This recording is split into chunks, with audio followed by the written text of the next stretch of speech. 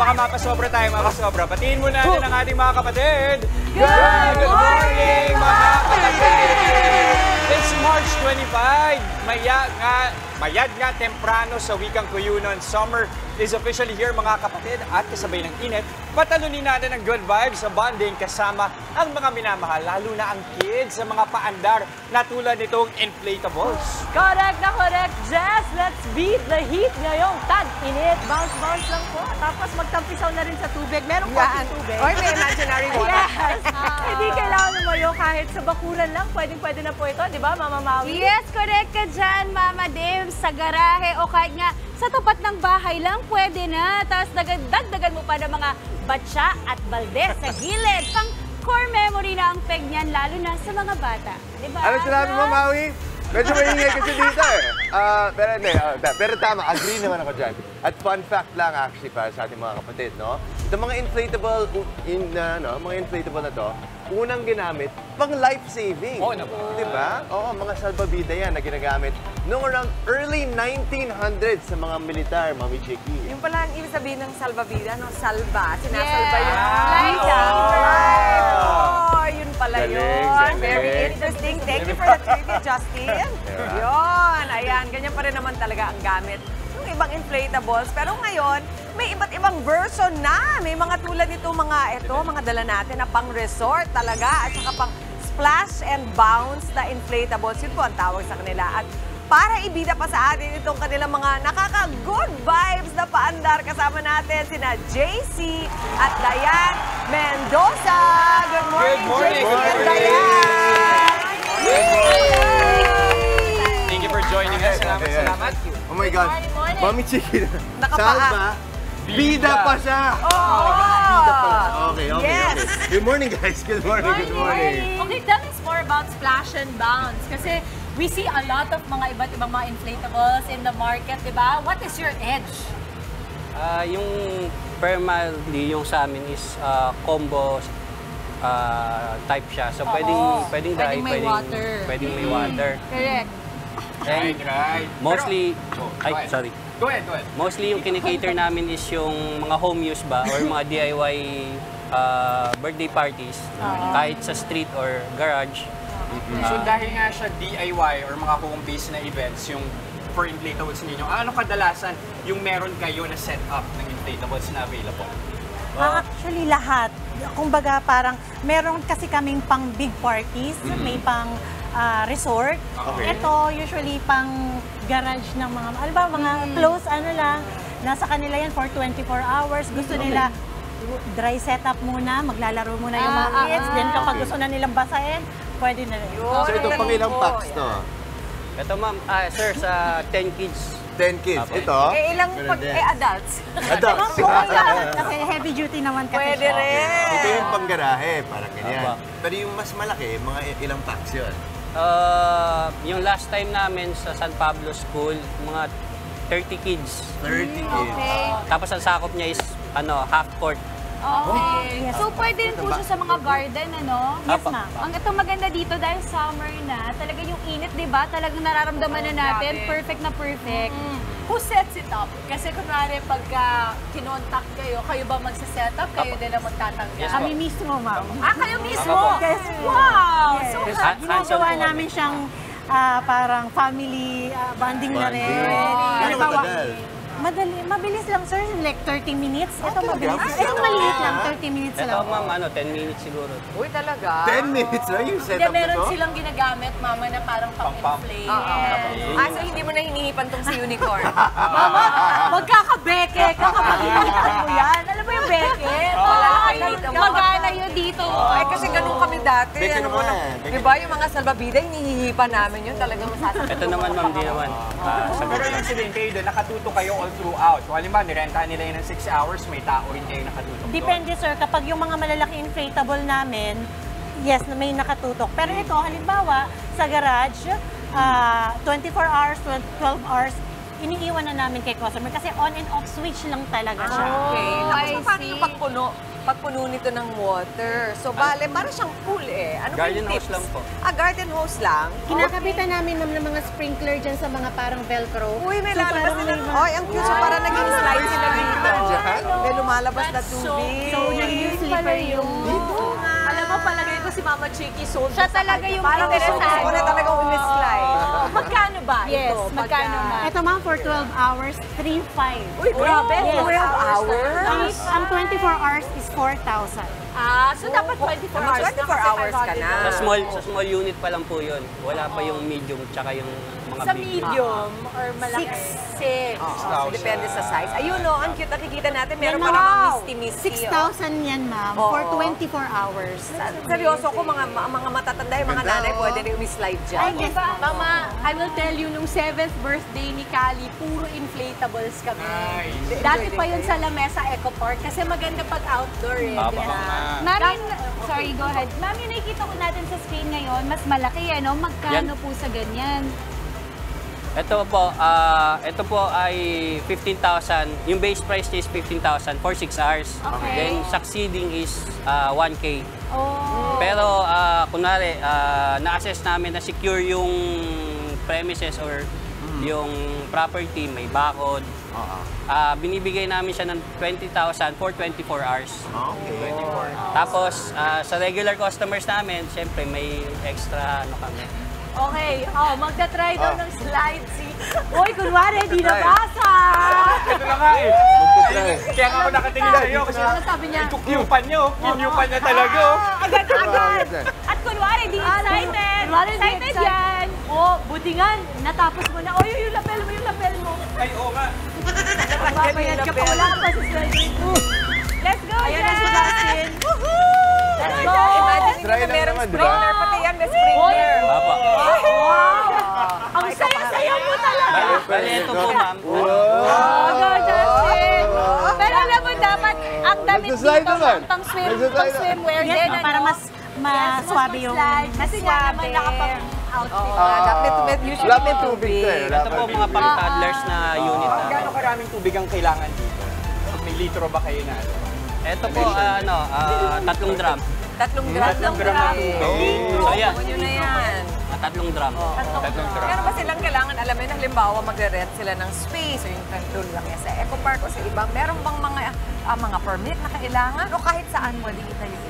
Basta okay sa homeowners nila, okay lang. Okay, so magtatanong lang dun sa homeowners. And usually, meron ba kayong na-encounter ng mga problema na ganyan? Or Pag ang mga pagsiset upan is yung mga rough, uh, like graba or ano, nag adjust kami. Bumili na rin kami ng mga panglatag Ah, para lang maibigay sa customer yung ma-set Ah, up sa province po kasi, ah, hindi naman siya, kumbaga, wala silang grass area. Oo. So, lupa talaga. Oo, kayo nang Eh, bumibili nung... Opo. Kumbaga, niyo na i-cater namin sila. Ibigay nyo lang sa amin yung kung ano yung itsura ng paglalapagan. Sabi mo, sabi mo, province, bakit lumalayo kayo ng Metro Manila, ha? Kahit saan pwede. Pwede. Nakakatawid nga kami, ma'am, ng North. ma'am. Wow! Na, o, sige na. Okay, I'm sure excited na yung mga kapatid natin. Lalo't pa summer na nga, paano ba nila kayo makukonta? Ah, Splash and Bounce Inflatables po sa FB namin and IG. Tapos may ano din kami doon, may mobile number din po. Ayun po, nasa screens nila. Okay, thank you very much again, JC and Diane Mendoza Splash and Bounce Inflatables. So, mga kapatid, bawasan ng inis sa init sa lubungin ng araw ng may ngiti at pag-asa. Ako po si Jess de Los Santos. Isama na sa morning mantra, what init ulo kapatid, kulang tayo, smile and chill pa rin. Ako po, sige pagsaman. Mismo yan, Mama Dims. Ang isang dapat gawin eh, focus lang sa mga gawain at magbaon ng extra inspiration at motivation. Ako naman po, si Maui David. Mas masaya ang morning kung full of energy. Magagahan na rin with loved ones. Kasama kami ang inyong paboritong morning kasalo. Ako po, si Justin Quirino. At syempre, mauna sa ating mga balita sa frontline sa umaga, mga mainit na update sa ilang pangyayari sa loob at labas ng bansa. Ako po si Chiki Roa Buno. Kaya naman, ang masayang bati namin sa inyo, mga ate, kuya, nanay, tatay, lolo at lola. Good morning, kapatid! Okay, bounce, bounce to start the Monday, Justin. Pero ano ba ba mga pampa-energy natin today? Oh, ito, Jess. Ito pa natin ang summer vibes this Monday morning dahil mamaya susubukan nating talunin ang init sa hatid na chill na chill na sarap ng ice Oh. scramble. Tikman natin yan mamaya. At kasabay naman po ng ating ah, pakikisa sa World Tuberculosis Day. Ngayong araw na ito ay papaliwanag sa atin ni Doc Dex kung paano pa nga ba makakaiwas sa sakit na TB. Abangan yan sa sabi ni Doc. At para naman sa ating another tanungan session, mga kapatid, inalam natin, ano na ba ang mga gustong isoli ng ating mga kapatid? Tanong ko lang. At segue naman tayo sa ibang issue. Himayin pa natin ang kaso ng dalawang batang natagpo ang patay sa isang nakaparadang sasakyan sa Pampanga. Sino nga ba ang dapat managot? Ididetalye yan ni Attorney Buko sa Legal Bato Live. Si Attorney dito mamaya, Dips. Seryosong usapin pa rin po, paano ba tayo aalalay sa mga anak na nawalan ng mga magulang? Yan naman po ang tatalakayin natin sa Working Mom. At sa pagsisimula naman ng Semana Santa, ibibida natin ang patok na negosyong likhang kamay ng religious, uh, religious beadworks. Ang blessing na business na yan, share natin sa kitang-kita. Narito ang mga balitang dapat abangan sa frontline sa umagang mamaya. Resupply mission ng Pilipinas sa PRP Sierra Madre. Binomba na naman ang tubig ng China. Para sa mga motoristang hahabol umakyat panorte ngayong Semana Santa, lagay ng trapiko sa NLEX silipin. At sa ibang balita, pagdami ng kaso ng pertussis o ubong dalahit sa bansa, isinisisi sa mababang vaccination rate. Ihanda na ang payong at uminom ng maraming tubig pag-asa nagpapala ng mas mainit na temperatura sa Mayo kasabay ng pagsisimula ng tag-araw. At sa showbiz, Sara Labati at Richard Gutierrez nagdaos ng magkahiwalay na birthday party para sa anak na si Kai. The heat is on. Tulad na naman po ng ating pagpapakalat ng good vibes at pambabuenas ngayong umaga. Kaya mga kapatid, tara na at makijoin sa aming Kagumoka Ko Selfie Contest. Ipamalita na sa mga kapitbahay, katrabaho at iba pang mga mahal sa buhay. Watch na tayo ng Good Morning Kapatid at habang nanonood po, abay umaura na sa may bonggang selfie. Private message lamang po yan sa ang inyong mga larawan. With location na rin sa aming official Facebook page sa Good Morning Kapatid. Ang hottest and most fun selfie winner ng 500 pesos worth of load. Kaya naman kagumota. Go and selfie na! Tuloy-tuloy lang ang pagtutok mga kapatid. Magbabalik ang inyong paboritong kasalo sa umaga. Good morning, kapatid!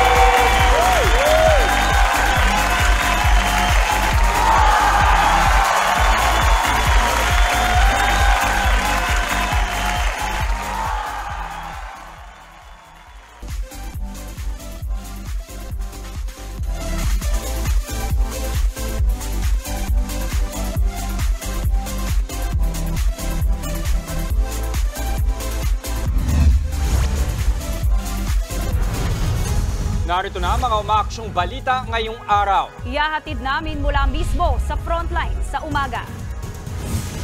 US at Japan kapwa binatikos ang China dahil sa ginagawang pagbomba ng tubig sa resupply vessel ng Pilipinas sa Ayungin Shoal. Pero ayon sa China, humanda ang Pilipinas kung patuloy na palalalain nito ang tensyon sa rehiyon. Dating Negros Oriental Congressman Arnie Teves mananatili muna sa Timor-Leste matapos arestuhin. Paggunita sa Semana Santa ng mga kapatid nating Katoliko, umpisa na ngayong araw. Sitwasyon ng traffic sa NLEX, kukumustahin natin live mamaya. Limampung pamilya na wala ng tahanan sa panibagong sunog sa Tondo, Maynila. At sa showbiz, aktres na si Kim Molina pinatula ng isang basher ng kanyang boyfriend na si Gerald Napoles.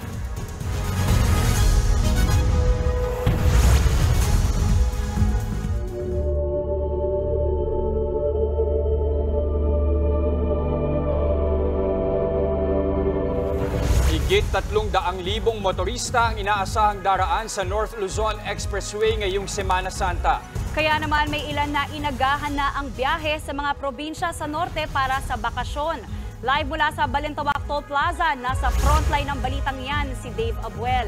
Dave, marami na bang dumara ang motorista ngayon? Jess Maui, libo-libong motorista ang inaasahang daraan dito sa North Luzon Expressway sa Holy Week. Ah, pero ngayong Lunes Santo, hindi pa masyadong ramdam ang dagsa ng mga motorista. Sa ngayon, light to moderate na traffic pa lang ang nakikita nating trapiko dito sa NLEX. Ayon sa pamunuan ng expressway, posibleng ganyan ang sitwasyon ng trapiko ngayong araw. Sa Miyerkules Santo at Webes Santo, inaasahan ng pinakamaraming motoristang daraan ng NLEX. Posibleng pumalo sa higit 300,000 na motorista ang dadaan ng NLEX ngayong Holy Week. Mas mataas yan ng higit 10% sa daily average traffic sa NLEX. Kaya naman habang maaga pa, mailang bumiyahe na sa kanilang destinasyon ngayong Semana Santa. Gaya na lang na nakausap namin na si Maan at ang kanyang asawa na patungong Camp Mapanuepe sa Zambales. Isasabay daw nila ang pag-reflect sa buhay habang Holy Week at i-enjoyin ang magandang view sa campsite. Ang magkakaibigang nurse interns naman na sina Janelle, palaunyo naman ng trip ngayong Holy Week. Kahit na raw magbabanding silang magkakaibigan doon, hindi pa rin daw sila makakalimot na magnilay-nilay ngayong Semana Santa. Jess Maui, paalala lang sa mga kapatid nating babiyahe ngayong Holy Week na siguraduhin bukod sa sasakyang gagamitin ay nasa kondisyon din ang sarili para iwas aberya. Siguraduhin din na may RFID na ang sasakyan at may load siyempre para iwas or hassle-free kapag dadaan na sa mga toll booth. Yan muna ang latest mula dito sa NLEX. Balik sa inyo. Maraming salamat, Dave Abuel. Abiso po sa mga motorista, sasamantalahin ng MMDA ang mas magaan na trapiko sa Semana Santa para ayusin ang ilang kalsada sa Metro Manila. Nasa frontline ng balitang yan si Gerard de la Peña. Mas kakaunting mga sasakyan ang inaasahang babiyahe sa Metro Manila ngayong Semana Santa. Bukod kasi sa walang pasok, nagsiuwi na ang ilang mga Pilipino sa kanilang mga probinsya. Kaya naman sasamantalahin na ito ng MMDA para ayusin ang ilang kalsada. Sa Quezon City, magkakaroon ng pagsasaayos sa bahagi ng Batasan Commonwealth Tunnel. Aayusin din ang bahagi ng West Avenue, pati na rin ang Luzon Avenue. Sa Commonwealth Avenue, magkakaroon ng roadworks mula Land Bank hanggang sa may elliptical road. Aayusin din ang ilang bahagi ng Mindanao Avenue. Bukod pa riyan, aayusin din ang ilang bahagi ng Payatas Road sa Quezon City. May roadworks din na nakatakda sa IBP San Mateo Road. Sa Pasay City naman, aayusin ang ilang bahagi ng northbound ng Rojas Boulevard. May aayusin din ang MMDA sa East Service Road sa South Superhighway. Aayusin din ang ilang linya sa EDSA, partikular na ang northbound lane sa May Guadalupe. Damay rin ang bahagi ng JP Rizal Extension. Magsisimula ang pag-aayos sa mga kalsada sa Miyerkules, alas 7 ng gabi. Pero tiniyak ng MMDA na pwede nang daanan ng mga ito pagpatak ng alas 5 ng umaga sa April 1. 24 hours ang sasagawang roadworks. Kaya naman inabisuhan na ang mga motorista na maghanap ng alternatibong ruta kung babiyahe ngayong Semana Santa. Nagbabalita mula sa Frontline, Gerard de la Peña, News 5. Naka-heightened alert status na ang Philippine National Police simula ngayong araw para sa Semana Santa. Kasunod yan ng inaasahang pagdagsa ng mga biyahero at bakasyonista sa mga terminal, pantalan at paliparan. Marami rin ang inaasahang dadagsa ng mga deboto sa mga simbahan. Ayon sa PNP, magtatagal ang heightened alert status hanggang April 1. Kaya inalerto na nila ang mahigit 50,000 polis na ide-deploy sa iba't ibang bahagi ng bansa. Sa mga babiyahe ng long drive dyan ngayong Semana Santa, samantalahin na ang pagkakataon para magpagasolina. May nakaamba kasing big time oil price hike. Epektibo bukas, may dagdag na 2 piso't 20 sentimo kada litro sa gasolina. May patong naman na piso't 40 sentimo kada litro sa diesel at piso 30 sentimo kada litro sa kerosene. Sabi ng Department of Energy, dahil yan sa pag-atake ng Ukraine sa mga oil refinery ng Russia, natulak din daw ito ng tumataas na demand sa langis sa Amerika at China. Nagbabala ang Department of Energy na posibleng numipis ang supply ng kuryente sa bansa dahil sa epekto ng El Nino. Partikular na sa Luzon na posibleng tumagal hanggang sa Mayo dahil yan sa pagbaba ng level ng tubig sa ilang dam na karugtong na mga hydroelectric power plants. Ito yung mga gumagamit ng agos ng tubig para lumikha ng kuryente. Mananatili naman daw na normal ang reserba ng kuryente sa natitira pang bahagi ng bansa. Gumagawa na raw ng mga hakbang ang Department of Energy at nakikipag-ugnayan na sa lahat ng stakeholders para maiwasan ang kakulangan sa supply ng kuryente. Nakiusap naman ang DOE sa publiko na maging matipid sa paggamit ng kuryente sa gitna ng hamong dala ng El Nino. Mababang vaccination rate ang nakikitang dahilan ng ilang eksperto sa pagdami ng kaso ng pertussis o whooping cough sa bansa. Paliwanag ni infectious diseases expert Dr. Ron Jean Solante bumaba ang bakunahan kontra pertussis noong pandemya. Ito raw ang dahilan kung bakit nagkaroon ng outbreak sa iba't ibang lugar ngayong kabilang na sa Quezon City. Maliban dito, mga magulang o mga matatanda rin ang nakahawa sa mga bata ng pertussis. Maaaring makahawa ng sakit na ito sa pamamagitan ng respiratory droplets kapag bumabahing o umuubo. Naunang inanunsyo ng Department of Health na dadating sa bansa ang mahigit isang milyong bakuna kontra pertussis sa Hunyo. Ang mga sources niyan, yung mga adult na mostly mildly asymptomatic dahil nga hindi naman ganun ka immunocompromised, no? And that's also the reason why na pag nag-recommend tayo ng TDAP, dapat kasama na rin dyan yung mga adult kasi nandun naman din sa guideline na ang mga adult pwede rin magka-pertussis. Umabot sa danger level ng heat index ang nararamdamang init sa bayan ng Baknotan, La Union kahapon. Pumalo ng 46 degrees Celsius ang heat index sa bayan ng Baknotan. Nitong Sabado naman, umabot din sa danger level 0 o 42 degrees Celsius ang heat index sa Puerto Princesa, Palawan. Ayon sa pag-asa, posibleng makaranas ng heat cramps o pamumulikat at heat exhaustion o pagkapagod dahil sa init ang mga residente sa lugar na makakapagtala ng danger level na heat index. Dahil sa patuloy na pag-iral ng El Nino at pagsisimula ng tag-init, maari pang pumalo ng 52 degrees Celsius pataas o extreme danger level ang heat index pagdating ng Mayo. Nananatili sa Timor-Leste si dating Negros Oriental Representative Arnie Teves matapos siyang arestuhin doon nitong Webes. Ayon sa abogado ni Teves na si Attorney Ferdinand Topacio, pinalawig ng labing limang araw ang pagkakakulong ni Teves sa Timor-Leste. Na ito'y matapos sumarap sa korte roon ng dating kongresista nitong Sabado. Dagdag pa ni Topacio, salungat sa pahayag ni DOJ spokesperson Miko Clavano, hindi raw ipapadeport o i-extradite si Teves. Magpapatuloy raw ang pagdinig ngayong araw kung saan maghahain ng political asylum ang mga abogado ni Teves sa Timor-Leste. Matatanda ang nagkaroon ng courtesy call ang NBI kay Timor-Leste President Jose Ramos Horta. Ayon sa NBA, sinabi ni NBI, sinabi ni Horta na gusto nilang agad-agad paalisin si Teves sa Timor-Leste. Inaresto ang dating kongresista dahil sa mga kasong kinakaharap niya kaugnay sa pagpatay kay Negros Oriental Governor Roel De Gamo at iba pa noong 2023. Panibagong sunog na naman ang sumiklab sa Tondo, Maynila kagabi. Wala tuloy matulugan ngayon ang nasa 50 pamilya. Nasa frontline ng balitang yan si Dave Abuel. Nagngangalit na apoy na naman ang inabutan ng mga bumbero matapos sumiklab ang panibagong sunog sa Tondo, Maynila. Mag-aalas 8 kagabi nang magsimula ang sunog. Kwento ng ilang residente, naghahaponan sila nang makarinig ng mga sumisigaw na kapitbahay. Paglabas po namin, ayun na po, malakas na po yung apoy. Yun lang po yung naano namin nakita kanina. Tapos tumakbo na po ako sa may bomberuhan, humingi akong tulong. Sa bilis ng pangyayari, tanging uniforme ng asawa at mga damit ng anak na lang ang naisalba ni Jacqueline. Wala na silang magawang mag-anak, kundi panooring masunog ang kanilang tahanan. Agad namang rumesponde ang mga bumbero. Maliit po yung kinita natin sa loob pero sa pagtutulungan po ng Bureau Fire at ng mga volunteers, napasok po agad natin loob na contain natin agad yung fire. Hindi po naman tayo nagka-problema sa tubig. Natukoy rin kung saan sumiklab ang sunog.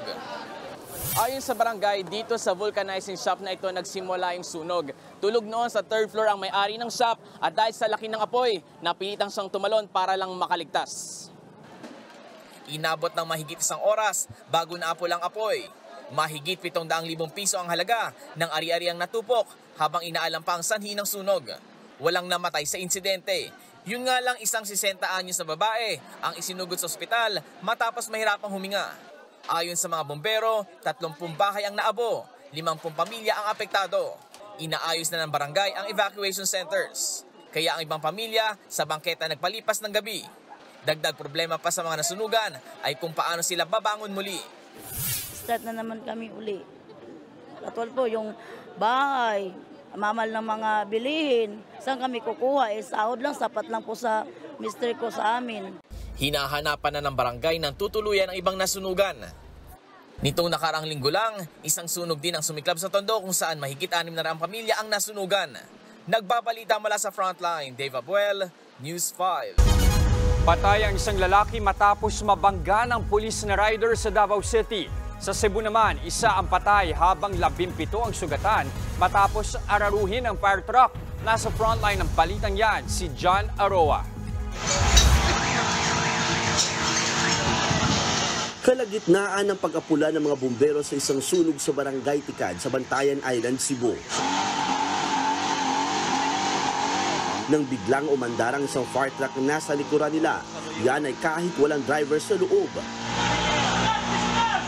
Inararo ng truck ang ilang residente at mga rescuer. Nakaladkad pa sila ng ilang metro. Kadla may mga tao. May mga tao. Diba? Ng fire truck, sir. Nataranta naman ang ilang sumaklulo sa mga nasagasaan. Lagi na damagan, sir. Hala.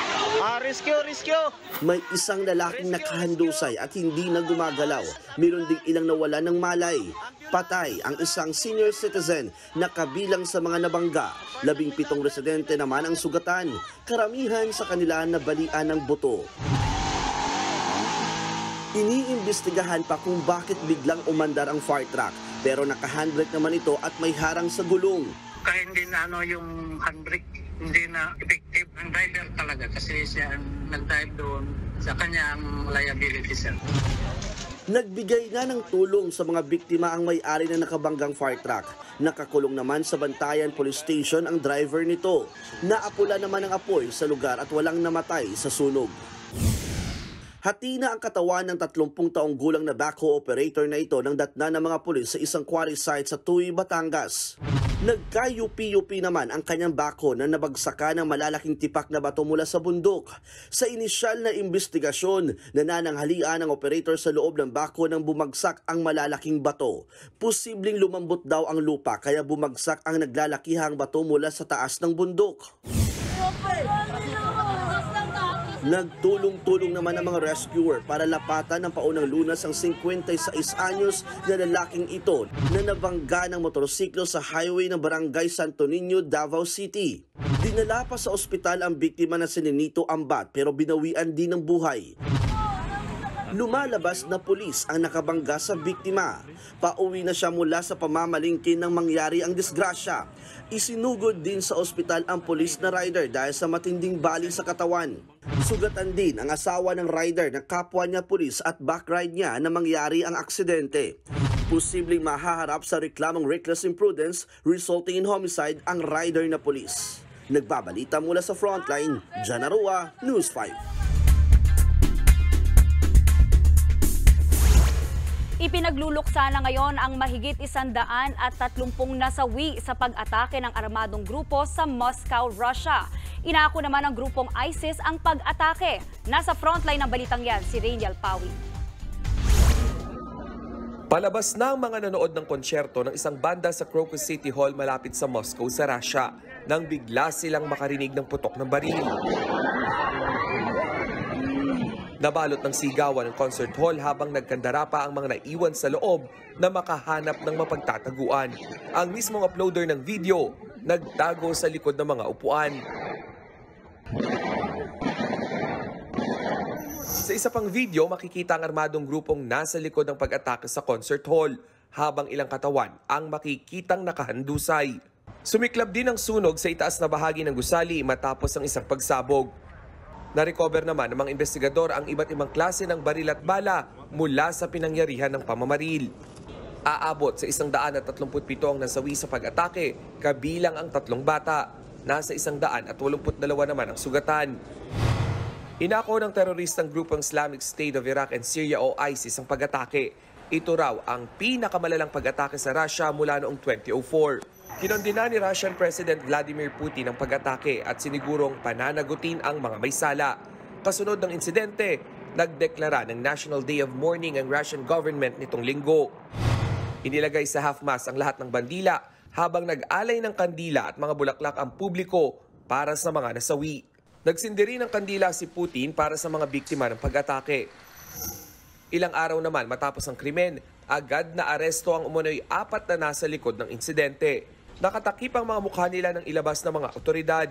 Na unang sinabi ni Putin na nagtangka raw tumakas papuntang Ukraine ang mga sospek. Itinanggi naman ng Ukraine na may kinalaman sila sa krimen. Ilang taon nang may alitan sa teritoryo ang dalawang bansa. Sa korte, ipinakita ang bugbog ng mga mukha ng mga sospek sa pamamaril. Hindi raw mga residente ng Russia ang mga ito ayon sa Interior Ministry ng bansa. Mananatili sila sa kustodiya ng korte bago magsimula ang mismong pagdinig sa krimen. Samantala, kinondena naman ng Department of Foreign Affairs ang pamamaril. Siniguro na rin ang embahada ng bansa sa Moscow na walang nadamay na Pinoy sa insidente. Nagbabalita mula sa frontline, Rainiel Pawid, News 5. Nagpatay ng ilaw ang mga sikat na tourist attraction sa buong mundo bilang pakikiisa sa Earth Hour. Bahagyang dumilim sa Paris nang patayin ang lahat ng ilaw sa Eiffel Tower. Sa ganitong paraan, nakiisa ang France sa pagtipid sa ng enerhiya. Agad din namang binalik ang mga ilaw makalipas ang pitong minuto. Nagtipon-tipon din ang mga turista sa Sagrada Familia sa Barcelona para masaksihan ang ilang minutong pagdilim sa simbahan. Pinatay din ang mga ilaw sa paligid ng Sydney Opera House sa Australia. Kapansin-pansin ding dumilim sa iconic Sydney Harbour Bridge at sa mismong skyline ng capital. Sa Australia, unang nagsimula ang inisyatibong Earth Hour. Kada taon, inaanyayahan ang lahat na magpatay ng ilaw bilang suporta sa kalikasan at bigyang pansin ang issue ng climate change. Tatlong tauhan ng Philippine Navy ang sugatan matapos bombahan ng Chinese Coast Guard ang resupply vessel ng Pilipinas sa ayungin nitong Sabado. Kinundena na ng ibang bansa ang China pero giit ng Chinese government may mas malala pang sasapitin ang Pilipinas kung maghihimasok pa rin sa pinag-aagawang teritoryo. Nasa frontline ng palitang yan, Simon Gualvez. Gaya ng dati, hinarang na naman ng mga barko ng China ang resupply boat ng Pilipinas na naghatid ng supply sa mga sundalong Pinoy sa BRP Sierra Madre sa Ayungin Shoal. Pasado alas 6 ng umaga ng Sabado nang makuhana ng biglang pagsulpot ng barko ng China Coast Guard sa harapan ng Philippine supply vessel na Uniza Bay 4. Sa isang aerial video, kita na talagang sinadya ng China Coast Guard na harangan ng Uniza May 4 kaya muntik silang magbanggaan hindi pa sila nakontento dahil makalipas ang isang oras, kitang inatrasan pa ng China Coast Guard vessel ang bangka kaya muntik ulit silang magbanggaan. Pagsapit ng alas 8 ng umaga, dito na nag-umpisang bombahin ng tubig ng China Coast Guard ang mas maliit na Uniza May 4. Tumagal ng kalahating oras ang habulan at pang-water cannon ng barko na yan hanggang sa may dumating na isa pa kaya dalawa na sila nagtulungan bombahin ng tubig ang ating bangka. Sa sobrang lakas ng water cannon, kita kung paano natuklap ang bubong ng walang kalaban-laban na Uniza May 4. Hindi naman sana kalayuan sa lokasyon nila ang isang barko ng Philippine Coast Guard na BRP Cabra. Pero hindi sila nakalapit kaagad dahil hinarangan sila ng isa pang barko ng China Coast Guard at dalawang Chinese Maritime Militia vessel. Mag-aalas 10 na ng umaga nang makalapit sila sa Uniza May 4 para tulungan ang mga sakay nito. Kahit nilagyan pa ng floating barrier ng China ang bukana ng Ayungin Shoal, naihatid pa rin ng Philippine Navy ang mga supply sa BRP Sierra Madre. Pero ayon kay National Security Advisor at National Task Force for the West Philippine Sea Chairperson Eduardo Anyo, tatlong Navy personnel ang nasugatan. Bagamat nakaandar pa, labis din daw nasira ang supply boat na Uniza May 4. Dahil sa nangyari, nakatakda makipagpulong ang National Task Force kay Executive Secretary Lucas Bersamin at sa National Security Council ngayong araw para bumuo yan ng rekomendasyon kay Pangulong Bongbong Marcos kung ano ang ating susunod na hakbang. Sa isang payag naman, kinunden na rin ng Amerika ang pambubuli ng China. Ayon kay US State Department spokesperson Matthew Miller, ang mga aksyon ng China ay nakapipinsala sa rehiyon at nagpapakita ng pagsasawalang bahala sa international law. Git nila, dapat daw igalang ng China ang desisyon ng 2016 Arbitral Tribunal na nagpapawalang bisa sa pagkamkam nila sa South China Sea. Nababahala rin daw ang Japan sa paulit-ulit na peligrosong aksyon ng China. Pero mismong Beijing, binalik sa Pilipinas ang sisi. Hindi raw kasi nagpaalam ang Pilipinas tungkol sa naturang misyon nung Sabado. Kaya ginawa lang daw ng China ang nararapat para pangalagaan ng kanilang karapatan. Bantapan ng China, kung ipipilit daw natin ang ating ginagawa, patuloy daw silang maninindigan at dapat umanong maghanda ang ating bansa sa anumang kahihinatnan nito. Nagbabalita mula sa frontline, Mon Gualvez, News 5.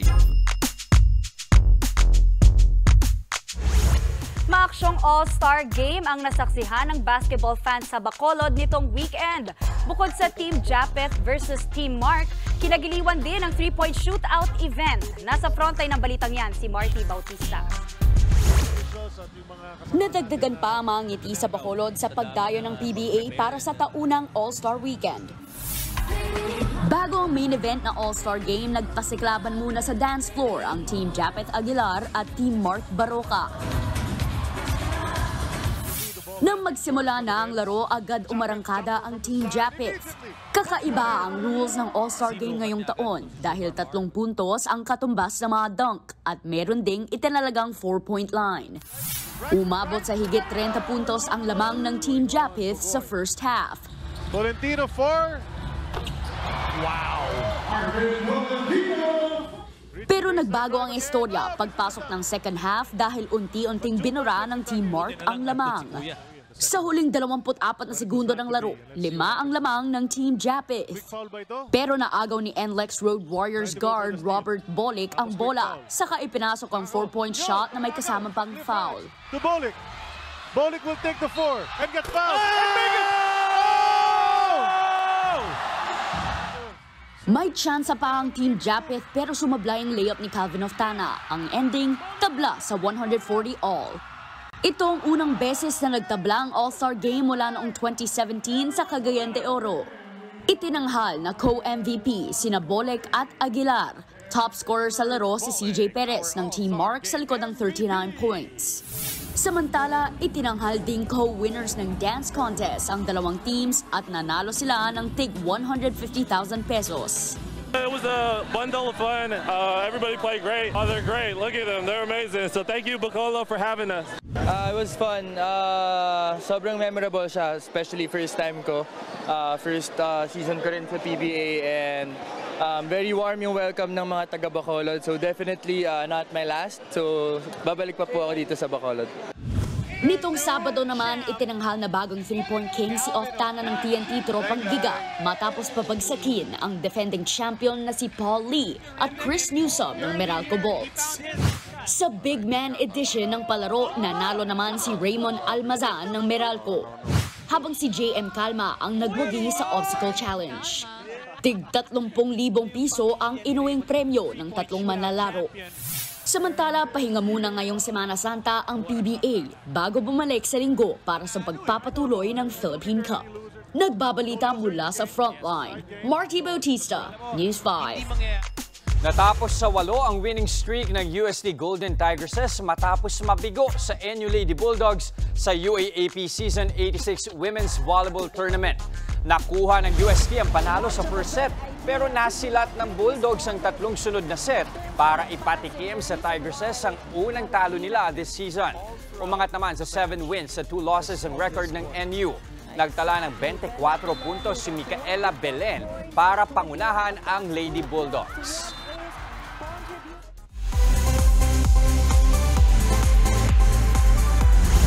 Nagkanya-kanyang birthday party sina Sara Labati at Richard Gutierrez para sa kaarawan ng kanilang bunsong anak na si Kai. Hindi dumalo si Sara sa birthday party na inorganize ni Richard.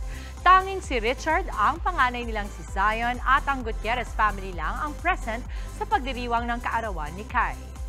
Pero bago yan, nagkaroon na ng surprise birthday party si Sara para kay Kai.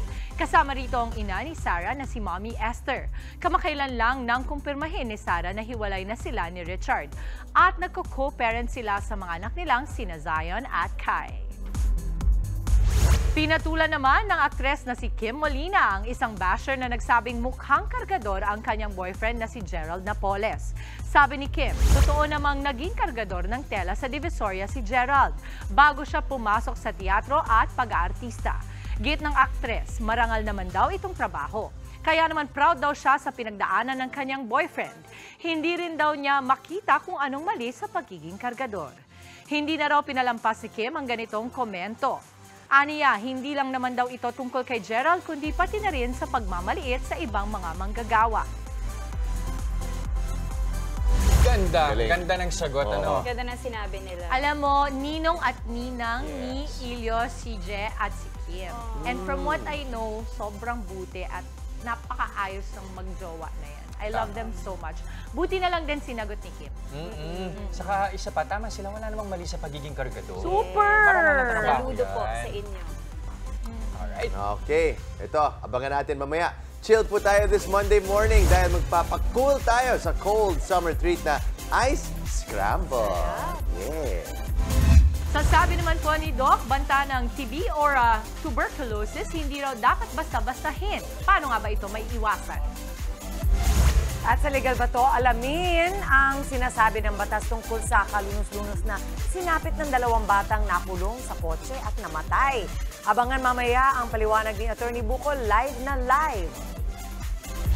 Kaya wag po kayong aalis, magbabalik pa ang inyong fave morning kasalo, ang... Good morning, kapatid!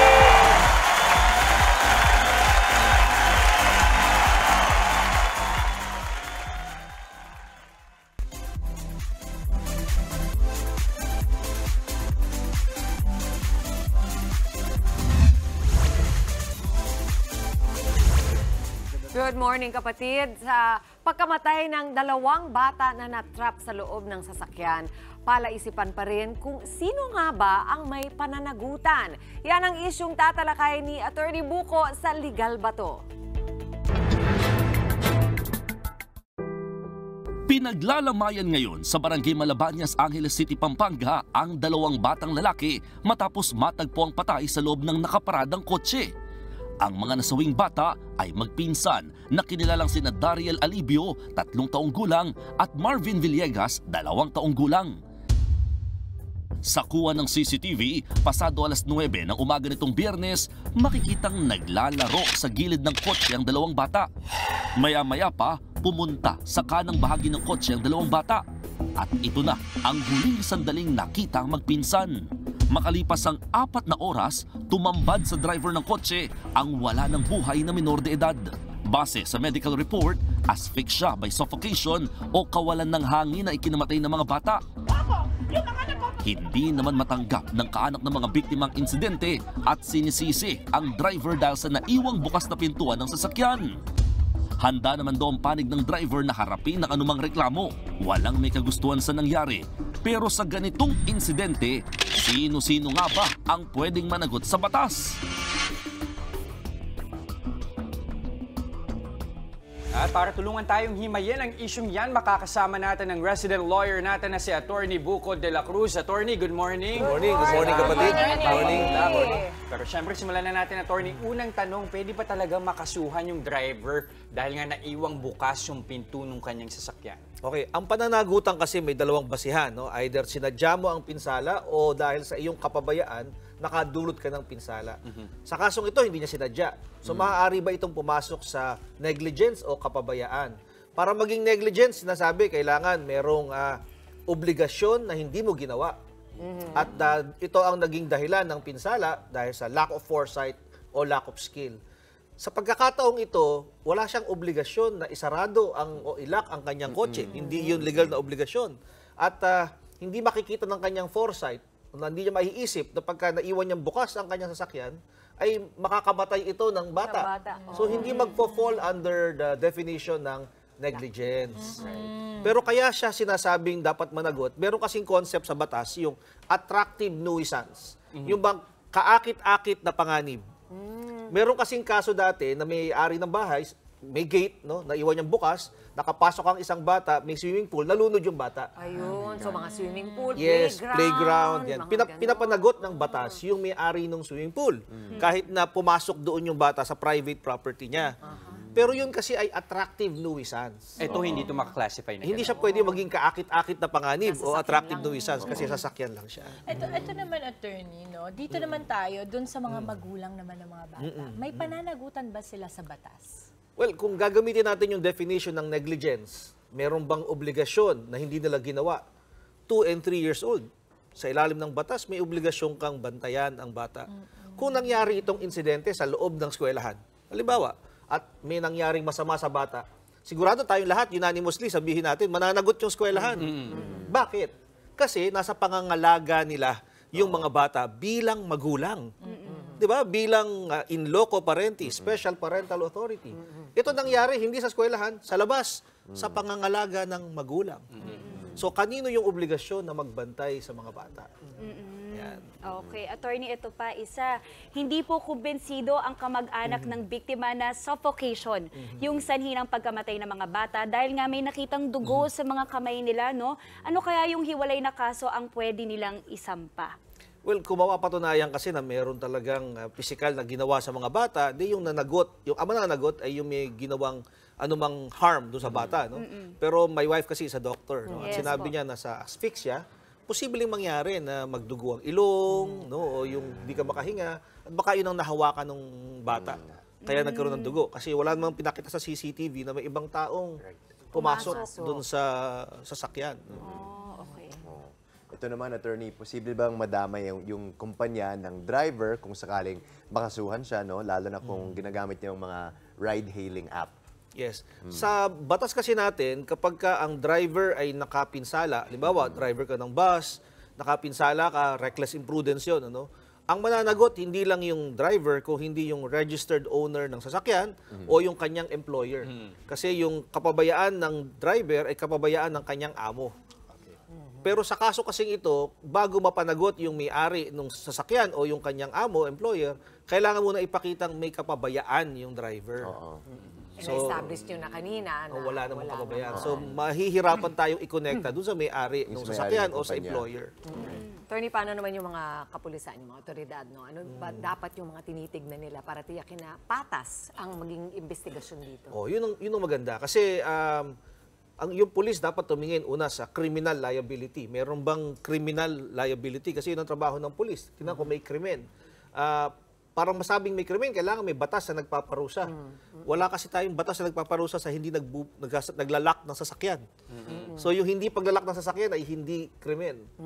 Hindi rin pwede sabihin reckless imprudence, no, na kaya namatay dahil sa iyong kapabayaan, dahil na-establish nga natin kanina na wala akong nakikitang basihan ng kapabayaan. Para maging patas, dapat tingnan ng pulis kung paano matutulungan yung magkabilang panig. Kasi may mga tanggapan naman ng pamahalaan na magbibigay ng tulong sa mga nag-aksidente kasi ito na hindi naman ito sinasadya at wala namang may gustong mangyari ito. Oh, attorney, ang laking bagay na may CCTV. Yes. Kasi nandun Oo. talaga, di ba? Nakalahad na lahat.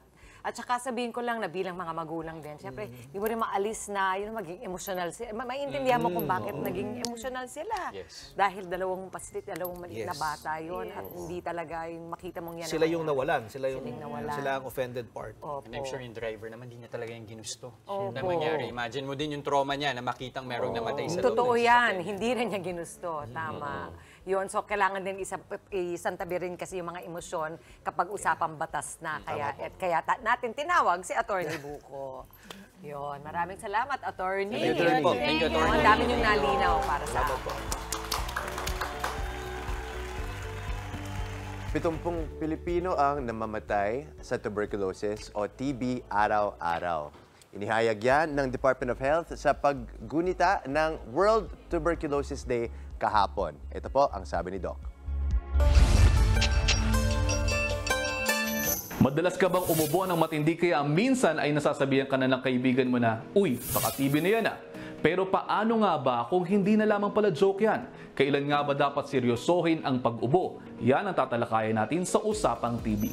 Ang pulmonary tuberculosis o PTB ay isang seryosong karamdaman na nakaaapekto sa ating mga baga. Dulot ito ng isang uri ng bakterya na maaaring lumipat sa iba't ibang bahagi ng ating katawan katulad na lamang ng ating bones, ng ating mga nervous system at iba pa. Isa ang tuberculosis sa mga deadliest diseases sa buong mundo.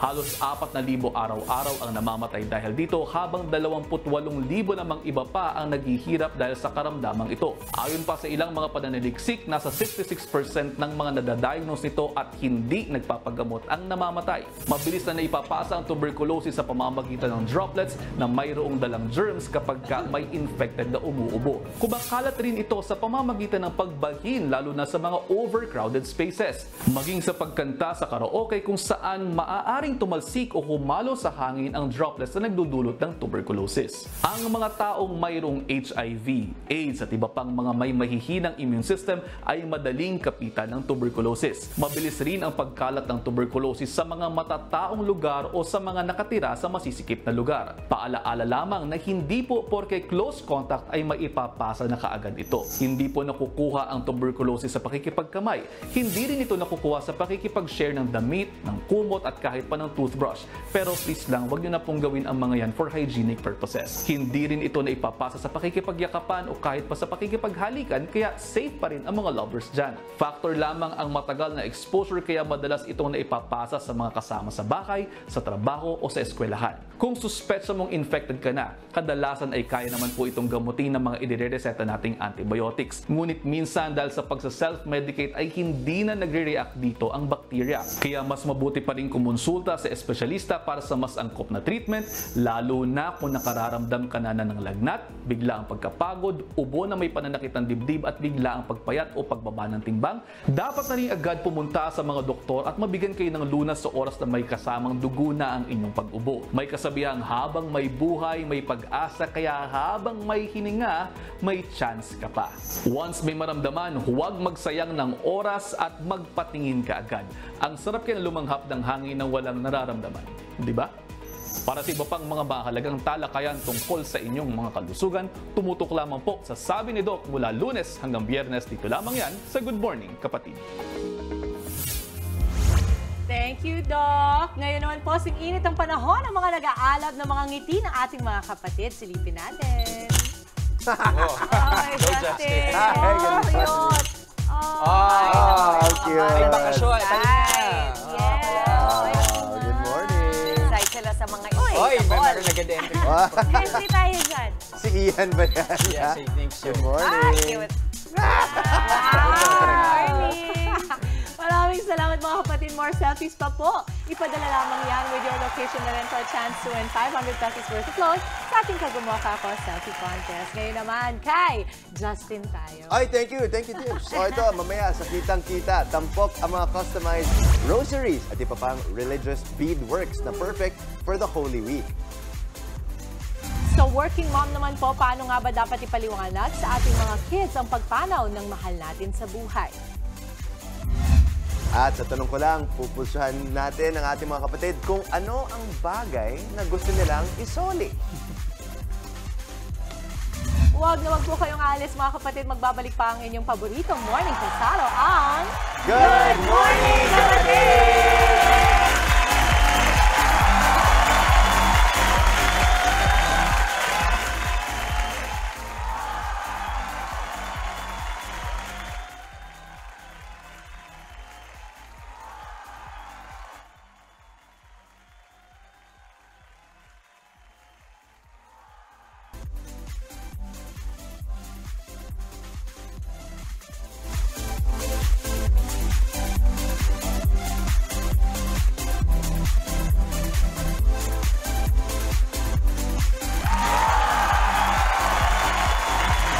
Nagbabalik po ang Good Morning, kapatid.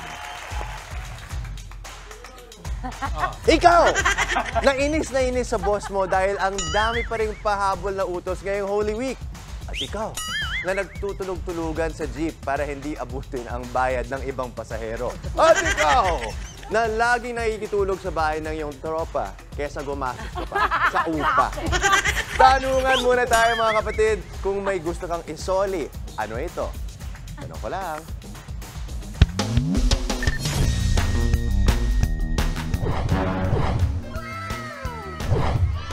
Yung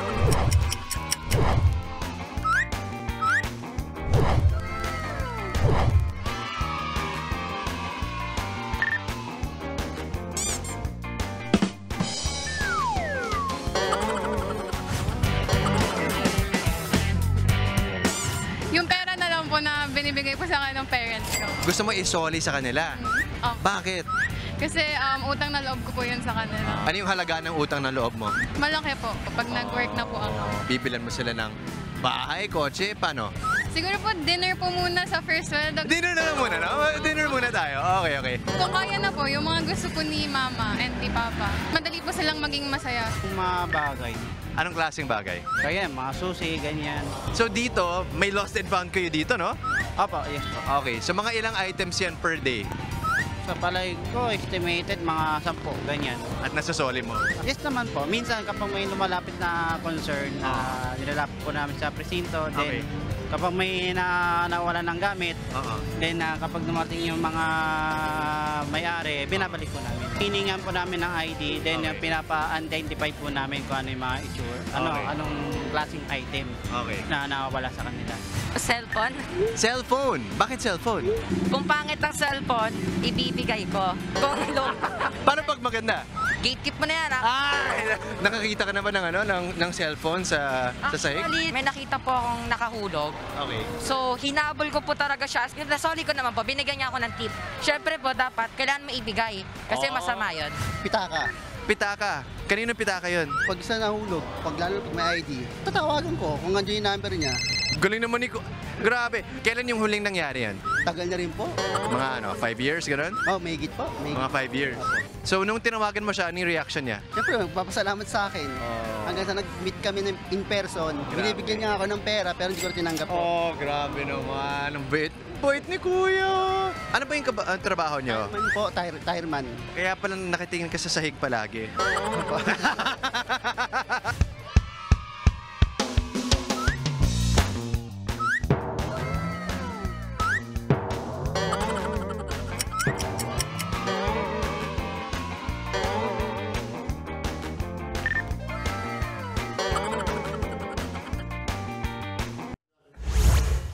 fairness naman din talaga sa'yo. Ano? Wala, natutuwa ako dun sa mga bago mong patanong. Wow, yay. Salamat. Pera, pasensya, kayo kung anong ibabalik. Salamat Kuya Mondi, shout out. Oo, di ba? O, eto na. Eto naman medyo mas seryoso yung usapan. Ah, usapang mga bata tayo ngayon. Maraming bagay pa ang mahirap ipaliwanag sa ating mga kids. Kabilang na dyan ang konsepto ng pagpanaw at pagdadalamhati. Yan po ang pinagdadaanan ng nakilala kong working mom. Narito po ang kanyang kwento.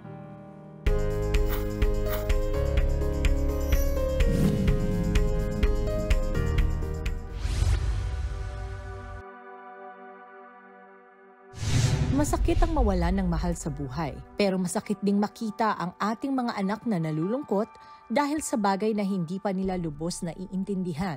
Paano nga ba natin sila dapat damayan? Nakilala ko si Mommy Ara na namatayan ng kinakasama niya noong si Mikey.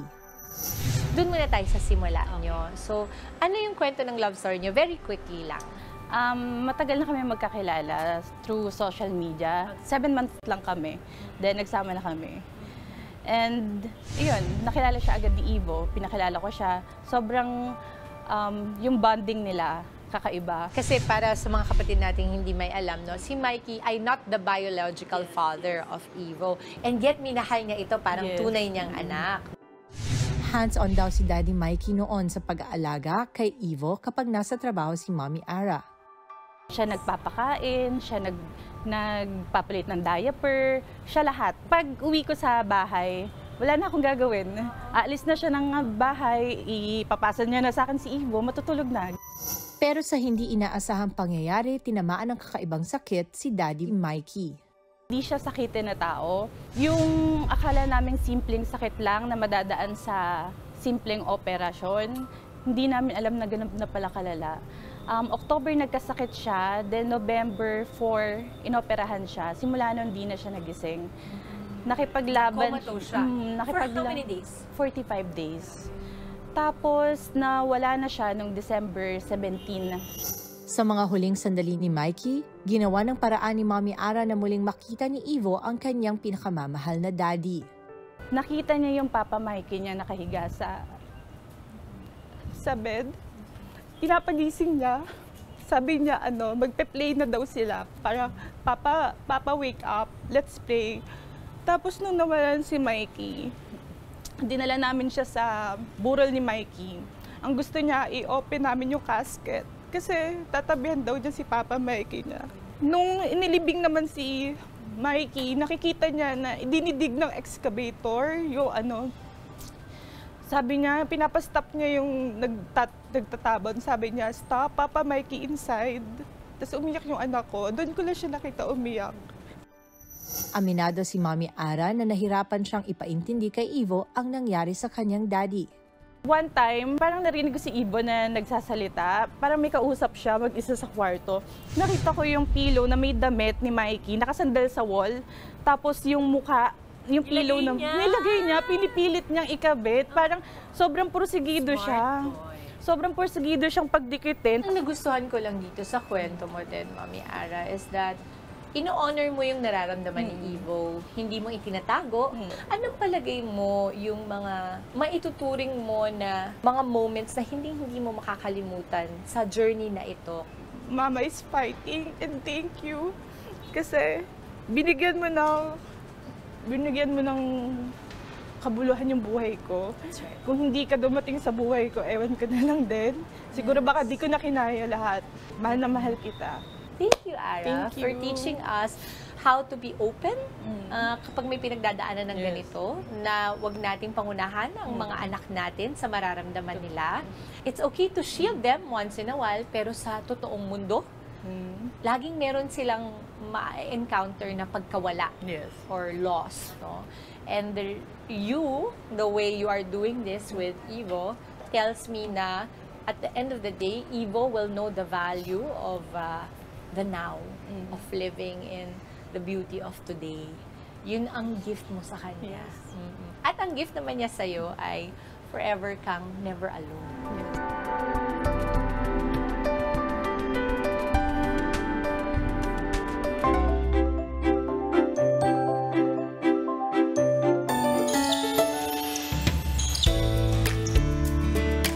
Sa busy natong kalibutan, time is it the essence. Former workmates me, and we became closer because of many interests. Aside from sports, I also introduced him my most trusted in keeping myself healthier, ang MX3. Uy, MX3T! Humutyot kayo, no? Relaxing! As time went by, na-assign si Sherwin sa lahing lugar. But one thing will never change, our friendship. Ang kuis, kumusta? Okay lang. Murag lang.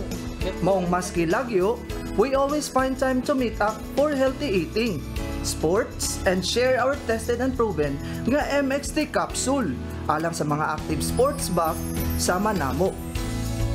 Low in sodium, cholesterol, ug fat-free kini.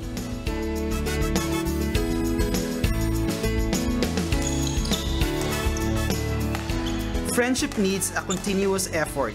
Be mindful of each other. Nice gift, boys.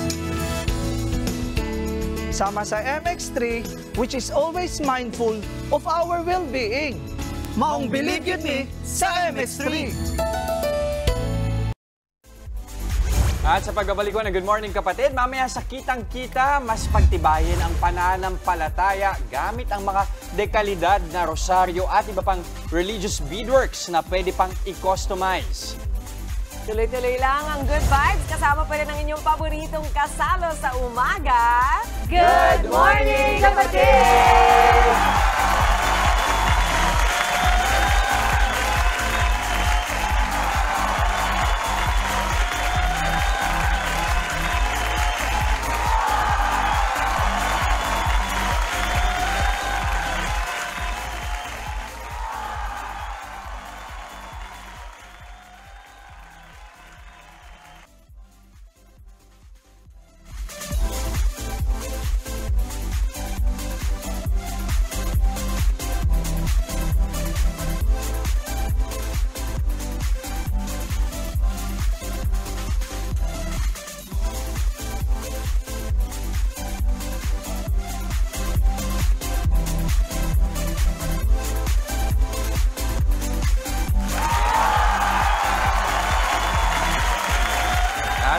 Rin ho kayo ng Good Morning Kapatid. Maui, may tanong ako sa'yo. Yes, Ngayong yes. Holy Week, or at least tuwing Holy Week, paano ba kayo nagdinilay-nilay sa family? Actually, you know what? We spend a lot of quiet time Mm. together para to reflect on the year that has been and of course yung mga ginawa ng ni Jesus para sa atin and of course um, we also do it ng kanya-kanya kaming adults, no? Para meron din kaming sariling reflection. But definitely, we pray a lot. Yun yung importante. We do a lot of Kasi prayers. kadalasan pag Holy Week, ano na lang eh, puro minsan relax na lang eh. Pero Oo. kailangan din talaga natin magkaroon ng Yes. period of reflection. At Yes. ito mga kapatid, masariwain pa natin ang naging sakripisyo ni Jesus ngayong Semana Santa gamit ang mga customized rosaries at beadworks. Yan ang ibibida nating negosyo dito sa Kitang Kita. Ang love, parang rosary, full of mystery. Pero para kay Emil, love is no mystery for God nang nabigyan ng katuparan ang kanyang business idea. Taong 2020, sa gitna ng pandemya, sinimulan ng dating tactical coordinator and merchandiser na si Emil ang sariling negosyo na Likhang Kamay by Emil M. Tampok ang iba't ibang devotional jewelry gaya ng rosary, necklace at bracelet na siya mismo ang gumagawa. Patok na patok din ang mga special customized jewelry na gawa sa semi or precious stones, high-quality connectors at electroplated rosary plates. Ang negosyo ni Emil na bunga ng pananampalataya at puhunang 5,000 pesos, ngayon binibiyayaan na ng 5 digits na kita kada buwan.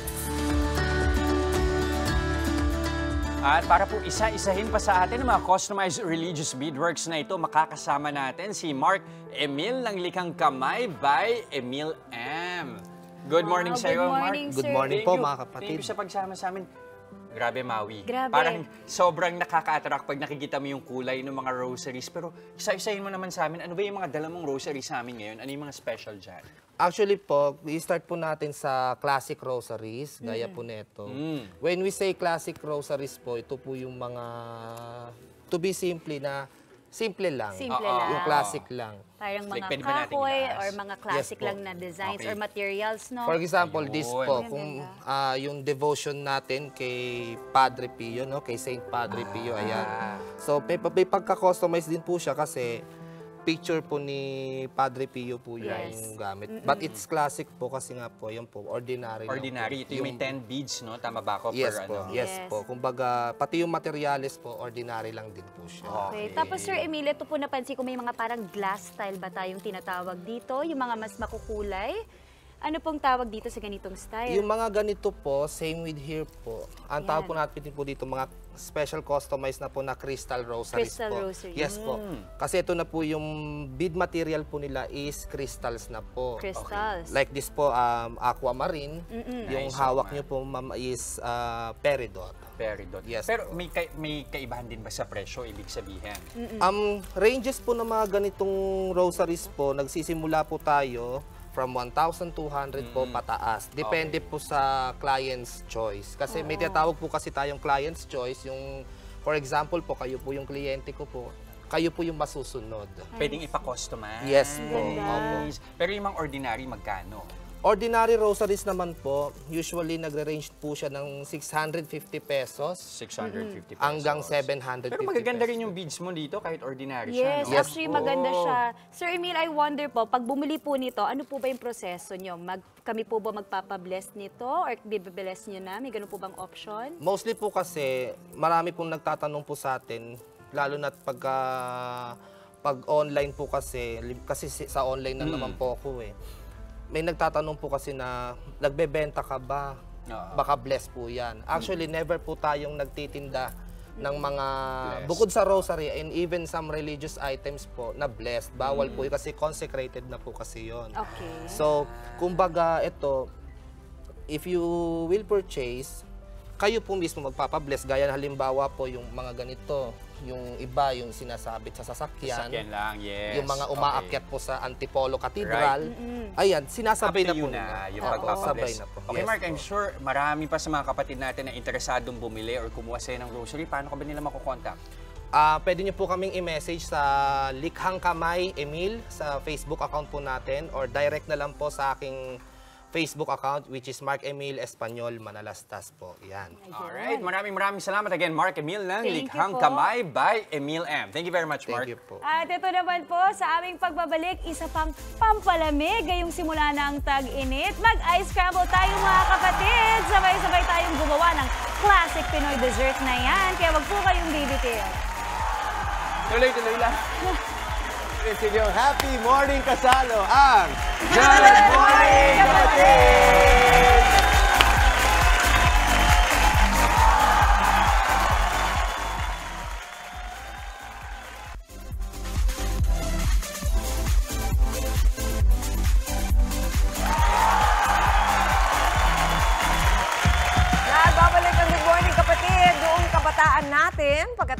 natin sa school o magsimba kasama ang ating pamilya, talaga namang isa sa pinipilahan ay si Manong Ice Scramble sa malamig! Yes! Yes, Mommy! Totoo yan. Alam mo, nag, ano, sa public school ako sa Paranaque. Hindi lagi sa labas. Meron Oo. yan eh, scramble.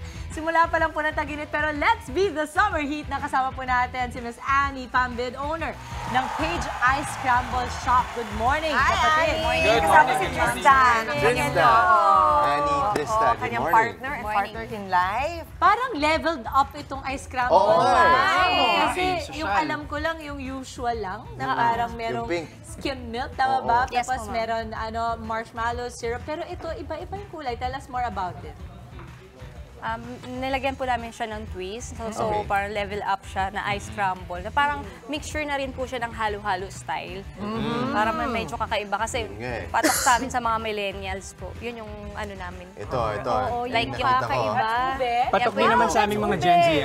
Oo, actually, Oh, wow. mga Gen Z. Oh, wow, talaga ba? Gen na Gen Z. Tinatawag namin po siyang ube keso. Ube Ube keso. keso. Kakaiba Oh, siya. May lots of. Ah. Ube pa lang. Si, Okay, si sige, gawa tayo, gawa tayo. Gawa kayo. Annie. Titikman ko na lang to. Ayun na lang. Sige. Okay? So, ang gamit mo is, ito yung regular na kinaskas na Crushed yelo. ice. Ice. try? Okay. Gumagamit Sige. kami ng sariling homemade na ice kasi po Mhm. para hindi po maagad matunaw. Tama. Not the tube ice itself. Okay, and then, anong next natin? So maglalagay po tayo ng ice crumble mix. Ito po Ito yung yung strawberry powder. Yes po. Okay. Ah, strawberry yan. So, ano kadalasan ng flavors? Ano, anong meron? So, meron po kaming four major flavors. Yung presa na tinatawag is strawberry flavor. Mm, Tapos meron kaming tsokolate, Mhm. buko pandan, and then yung ube queso. Ube queso. Yes. Yun, so hinalo lang sa yelo. Gano'ng maraming yelo ito? So, sa isang bucket po, nagdilalas kami ng 5 to 7 ice blocks. Ah, ice, 5 to 7 ice. Kasi ito Yeah. sugar, gano'ng karaming sugar dapat? Uh, one fourth sugar or one cup uh, of this. Ano Dapat po. ba ano? Anong klaseng sugar ang gamitin dapat? Ang gamit po talaga namin wash. Kasi Mm. medyo costly po talaga yung white Yes. sugar sa panahon ngayon. Simple lang talaga. Yes, no? simple lang. Simple lang. Kaya ng lahat. Maglalagay din kami ng mixture ng skim milk para Mm. po Ah, magpalapot. Diretso halo na rin pala sa yelo. Yes po. Halo-halo lang talaga siya. Ay, ito meron na to niyan. Yes po. Main. Ito na, tinatry na namin. Pa ube keso yung sa akin. Jess, ang sarap. Yes, Na-try na namin. Ang sarap. Grabe. Napaka-classic. Alam niyo nung bata ako, ang mas pinapadagdag ko lagi, yung powdered milk. Yes. Ganun din ba kayo? Oo. Alam mo ba, may trivia ako sa inyo, sa 18 treasures ko, kasama yung milk na yan. Wow! Kasi sobrang gusto ko ng milk na yan. Kasama yan sa milk. Di ba nakakatawa? yun? Oo. O so habang ginagawa yan ni Mami. Chiki, Okay siya. imbitahin natin yung mga kapatid natin paano ba nila kayo makukonta kung halimbawa gusto nila kayong imbitahin or sa mga events nila or kung gusto nila umorder sa inyo. Yes. You can reach us po through Facebook at Page Ice Crumble Shop po. Yun. So talagang wala silang dinagdag na ano, na basa. Yes. At saka pusa magic ko naging pink. Alright. Maraming maraming salamat sa kanila. Sa Ani Pambid ng ah, Page Ice Scramble Shop. Thank you very much. Thank you so much. Napakasarap po. Ayan. And that is it para sa ating Summer Bounce Monday. Isang makabulong umaga ang nahitin namin sa inyong mga tahanan. Kita-kits pa rin po tayo bukas mga kapatid. Enjoy lang ang araw at mag-spread ng good vibes palagi. Keep smiling lang. Yan ang paalala ng inyong paboritong kasalo sa umaga. Good morning, kapatid! O, ang gumawa natin.